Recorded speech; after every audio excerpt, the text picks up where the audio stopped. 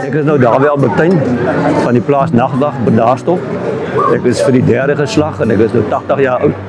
So ek is nou die vo volgende geslag in die gang, die vierde geslag nou in die gang. Ons kom met wolskape uh, seker amper 100 jaar van die ouer geslag daar van die eerstes wat BKB op daar toe gekom het wat ons besigheid by hulle gedoen van die begin af en ons het nou al die jare by hulle. BKB gee vir ons baie goeie diens al oor die jare. Ons het kon nooit enige moeilikheid of enige iets gehad van hulle so ons is baie tevrede met hulle.